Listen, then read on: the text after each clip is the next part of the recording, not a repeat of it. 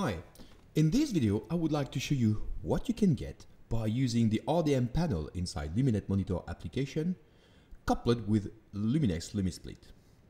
As you can see here, I have one LumiSplit 1.6 connected to port 3.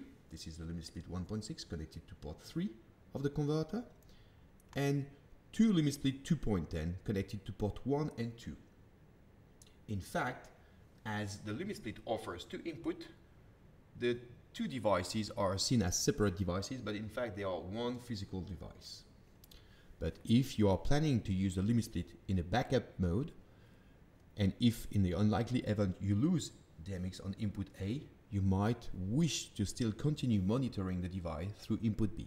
This is why we have two RDM responder per splitter.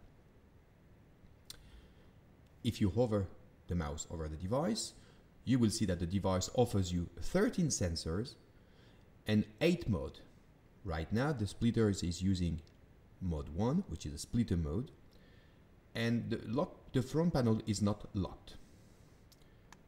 If you select the LumiSplit and right click on it, you can clear the device if, if needed, identify the device. Right now all LEDs are flashing white. I can do exactly the same with the 1.6 this is very useful when you're using a rack with lots of splitters inside. And you can press the identification simply by clicking on the identify off button. You can get messages from the from the splitter itself. Right now there is no messages, but the splitter can inform you if you have reload a preset. Uh, if there is a problem on the button, the splitter will do a checkup at uh, startup and several other messages like this. You can refresh the RDM status of the device. You can select from here the personality. I invite you to check the uh, specification of the LumiSplit to see how the, the kind of application you can achieve with it. The display level, you can set the LEDs to the lowest value or to the highest value.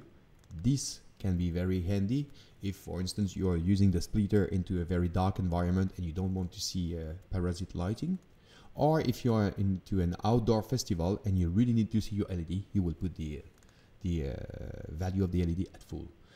Don't expect to be able to fade between the lowest and the highest value. It's either the lowest, either the highest. You can reset the device from there as well. You can lock or unlock the front panel from here. And, and this is great, you can upgrade the firmware directly from the network. Of course, to do that, you will need to have the limit connected to a Luminex Ethernet DMX converter. This is mandatory.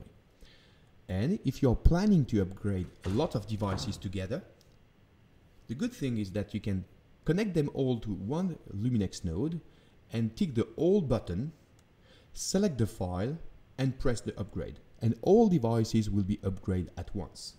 This will be a big time saver for you. Luminex right now is the only company in the world who is able to upgrade its splitter through RDM.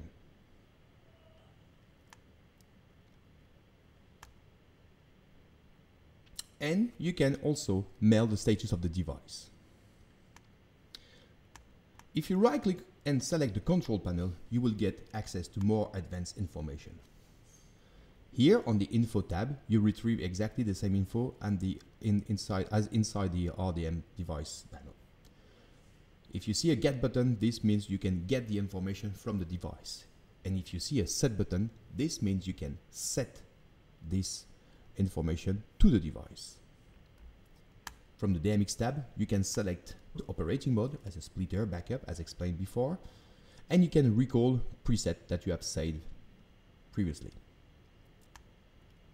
There you can get access to the sensor's information, so you can see the temperature sensor, and you can see the sensor behind each DC-DC converter. If the DC-DC uh, display a value of 1, this means the DC-DC converter is in a good operational mode. If you see a value of 0, this means the DC-DC converter is dead. You have one DC-DC converter per input and per output. On the display, you can set, as explained before, a value of 0 or 255 to get the lowest value or the highest value. From there, into the custom uh, tab, you can store a user preset.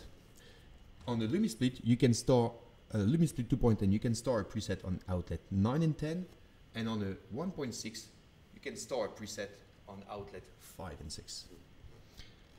Which means if you want to store a preset into the first available outlet, it will be the first one. On the on the 2.10, it will be outlet 9.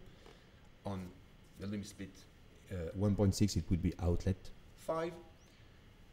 So you just select the first or the second outlet and press set. This is how to record a preset.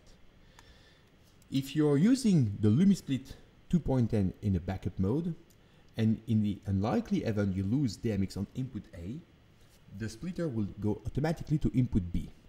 However, if DMX is back available on input A, the splitter will not go back automatically to A. You will have either to press on the A button on the front panel or send an RDM command to the splitter to go back to A.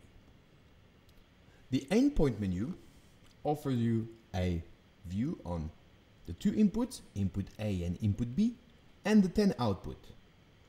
By default, all output are assigned to input A, which is from the splitter perspective universe 1.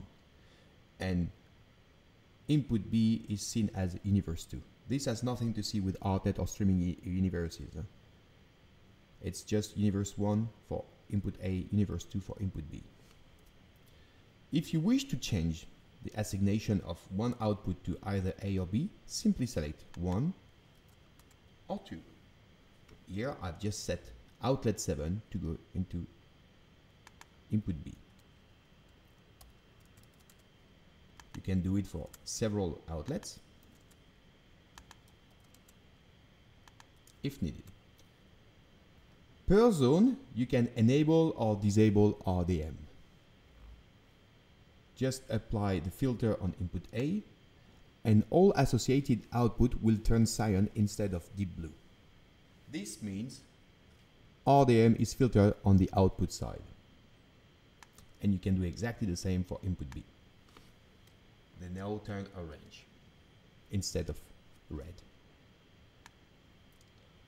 You can also select the speed if you want to use the splitter in a regeneration mode and regenerate the, the, the DMX output, you can directly select here the kind of speed you wish. You can also filter per port if needed. Let's say I want to filter on port 7 and 6. Port 7 and 6 will now turn orange, which means only DMX will be output onto those connectors.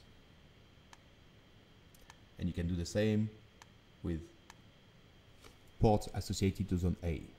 They now turn cyan as well.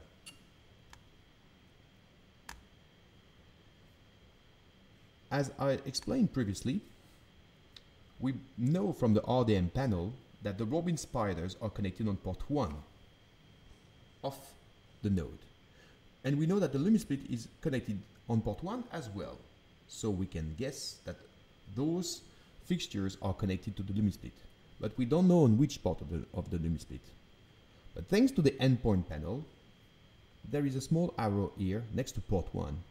And if you expand this arrow, you will see and discover the Robin spider which are connected on port 1 of the splitter, which is the case here. Which means I know that the Ethernet DMX converter on port 1 has the LumiSplit connected, and on port 1 of the LumiSplit I know my lighting fixture are daisy chained. If I move to port 3, and if I wait for the next polling packet, I will see now that my moving light have moved to port 3, which means I know ex the exact DMX signal path, which is absolutely fantastic for troubleshooting and maintenance purpose.